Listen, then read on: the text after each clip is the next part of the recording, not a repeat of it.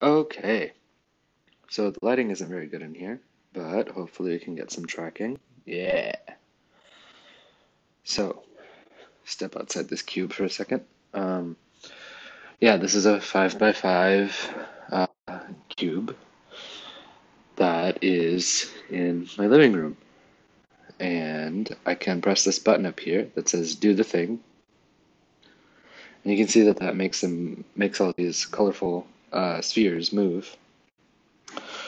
And yeah, it just sends an impulse to them uh, to all go uh, towards this corner. Um,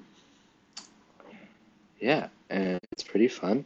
Yeah, you can see that it's a cube from out here, but I can also walk into it. And now the rest of the room looks kind of blue because we're inside this uh, semi-transparent wall. And I'm hanging out with the these little spheres. And now they're gonna roll towards me. Uh, yeah, and it's just it's kind of it's a fun proof of concept. Um, adding UI that makes something happen in an AR scene that you're sort of enveloped in. Um, that has the ability to pass through um, to the real world. So yeah, that's all.